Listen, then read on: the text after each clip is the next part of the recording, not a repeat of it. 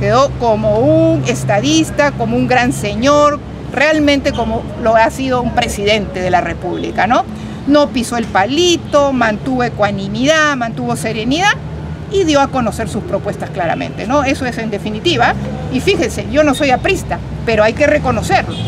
Él se portó realmente a la altura y al nivel de lo que el, mundo esperaba realmente, ¿no? Porque él está conocido como entre los cinco mejores oradores del mundo.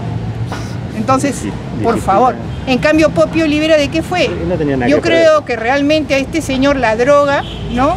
Y la juerga que ha tenido durante su vida le ha hecho quemar varios cables porque no llevó ninguna propuesta a este debate.